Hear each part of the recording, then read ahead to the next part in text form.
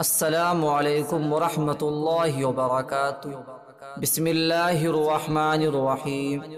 آج ہم بات کرنے والے ہیں اس ویڈیو میں ایک وظیفہ کے بارے میں، جو بہت آسان ہے اور کامیاب ہے۔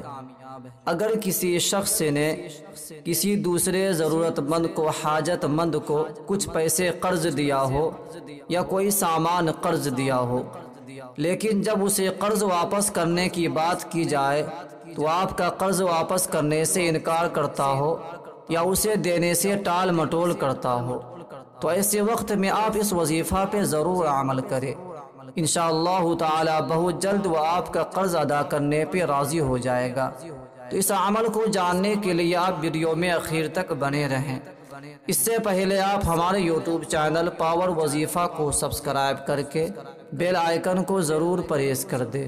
تو چلیے شروع کرتے ہیں۔ وظیفہ یہ ہے۔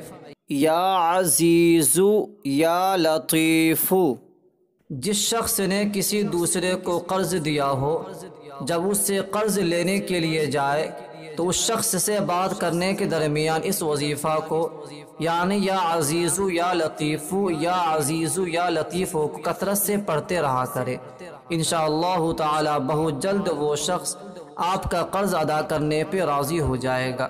اگر آپ کو ویڈیو اچھی لگے تو لائک اور شیئر ضرور کر دے۔ السلام علیکم ورحمۃ اللہ وبرکاتہ۔